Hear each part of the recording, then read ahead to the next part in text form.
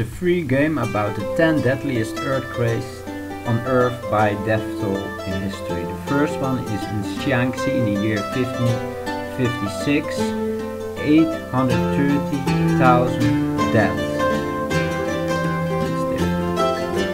Uh, then number 7 is also in China, Haiyuan, 200,000 deaths in 1923. Uh,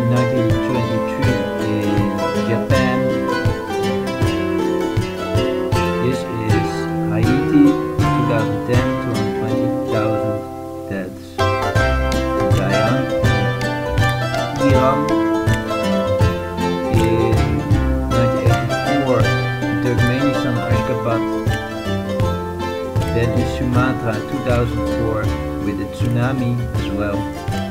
Uh, then Aleppo, and then Gansu in China, uh, 20 to 100,000 deaths, and then Tangshan in China, 1976, in uh, 255,000 deaths. You can play this game yourself. Look in the description to find the link.